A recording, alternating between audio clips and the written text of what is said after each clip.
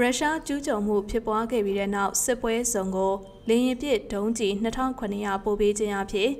ဂျာမနီကယူကရိန်းထံလက်နက်တွေပေးပို့မှုကိုတိုးမြှင့်သွားမယ်လို့မလ3ရက်မှာဂျာမနီအစိုးရသတင်းအရင်းမြစ်က AFP သတင်းဌာနကိုပြောကြားခဲ့ပါတယ်။ယူကရိန်းကိုထပ်မံထောက်ပံ့ရေးအတွက်ဂျာမနီအစိုးရကအတည်ပြုခဲ့တယ်လို့အဆိုပါသတင်းအရင်းမြစ်ကပြောကြားခဲ့ပါတယ်။ ပေးပို့မဲ့လက်နက်တွေထဲမှာကွန်မြူနစ်အရှေ့ဂျာမနီက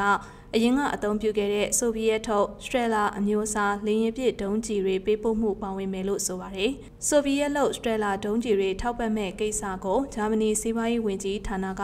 အစောပိုင်းမှာအတည်ပြုခဲ့ပါတယ်။ ဒါပေမဲ့အဆိုပါလေရင်ပြည့်ဒုံးကျည်တွေပေးပို့မဲ့ကိစ္စကို Federal လုံခြုံရေးကောင်စီကအတည်ပြုရအောင်မယ်လို့ဆိုပါတယ်။ဒုံးကျည်တွေကိုပို့ဆောင်ပေးဖို့အစဉ်သင့်ဖြစ်နေပါတယ်လို့အဆိုပါသတင်းအရေးအမြစ်က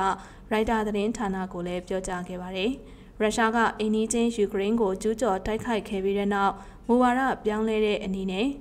ဂျာမနီကယူကရိန်းထံစတိန်ကမြေပြင်ကနေဝေဟင်ပြည့်ဒုံးကျည်900နဲ့တင်ဖြတ်လက်နက်1000ကိုပေးပို့ခဲ့ပြီးတဲ့နောက် အခုလေရင်ပြည့်ဒုံးကျည်2900ကိုပေးပို့သွားဖို့စီစဉ်တာဖြစ်ပါတယ်။ဂျာမနီဟာယူကရိန်းထံလက်နက်တွေပေးပို့ခြင်းမရှိတာကြောင့်အစောပိုင်းမှာဝေဖန်ခြင်းခံခဲ့ရပါတယ်။ဒါပေမဲ့ဂျာမနီအစိုးရကမူဝါဒအပြောင်းလဲပြုလုပ်ပြီးယူကရိန်းထံလက်နက်တွေပေးပို့တာဖြစ်ပါတယ်။ရုရှားကယူကရိန်းကိုကျူးကျော်တာကအလှည့်အပြောင်းတရက်ဖြစ်သွားစေခဲ့ကြောင်း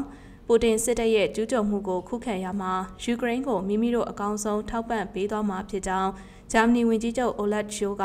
လွန်ခဲ့တဲ့ရက်ပိုင်းကတွစ်တာမှာရေးသားခဲ့ပါတယ်။ဂျာမနီဟာနာဇီခေတ်ကအပြစ်တွေလုပ်ခဲ့တာကြောင့်စစ်ပွဲစုံတွေကိုလက်နက်တွေပေးပို့ခြင်းမပြုဘူးဆိုတဲ့မူဝါဒကိုကာလရှည်ချမှတ်ထားပြီးတဲ့နောက်ရုရှားကြောင့်အခုအခါအဆိုပါမူဝါဒကိုပြောင်းလဲလိုက်တာဖြစ်ပါတယ်။ရုရှားချင်းချောက်မှုတွေဖြစ်လာနေတာကြောင့်မိမိရဲ့ကြီးတက်ကိုတိစောက်ရေးအတွက် ယူရိုဘီလီယံ100အမေရိကန်ဒေါ်လာ131ဘီလီယံရင်းနှီးမြှုပ်နှံမယ်လို့ဂျာမနီအစိုးရကကတိပြုခဲ့ပါတယ်။နယ်သာလန်ကပေးပို့တဲ့တင်းဖြတ်ဒုံးလောင်ချ400အပါအဝင်ဂျားနိုင်ငံတွေကဂျာမနီလုပ်လက်နက်တွေယူကရိန်းထံပေးပို့မှုကိုဖေဖော်ဝါရီ26ရက်မှာဂျာမနီအစိုးရကအတည်ပြုခဲ့ပါတယ်။ရုရှားကျူးကျော်စစ်မတိုင်မီဂျာမနီကယူကရိန်းထံအမာစားအုပ်ထုပ်တွေပေးပို့မယ်လို့ပြောကြားခဲ့ပြီးယာယီစေးရုံတွေတိစောက်ရမှာကူညီမယ်လို့ကန့်လန့်ခဲ့ပါတယ်။